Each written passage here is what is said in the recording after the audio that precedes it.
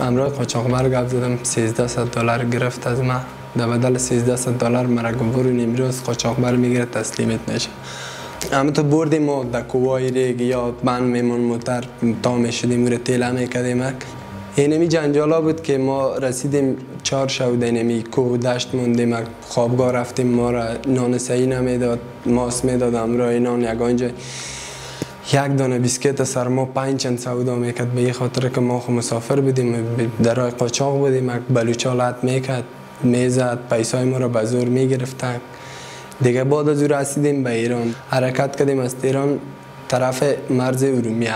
از اینجا کردا تسلیم ما شد. در کوی بسیار بلند ما را بولا کرد.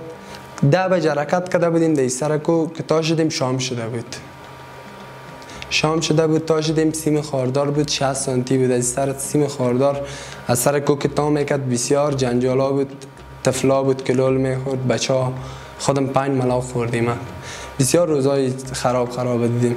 تا که رسیدیم در در ترکیه در یعنی مرز به نام وان است. ما رفتم شهر از روم رفتم زمستان بود کار نبود برف بسیار زیاد بود. اوجا رفتم کار نبود. یک شش و نیم هفت ماه بودم در هفت ماه پیسه رو مصرف کردم از جیب خود از خانه را مصرف کردم. پس خستم آمدم دیگه نشد. در وطن خودت که نشد هیچ وطن نمیشه. اگر از من بشنوین نری.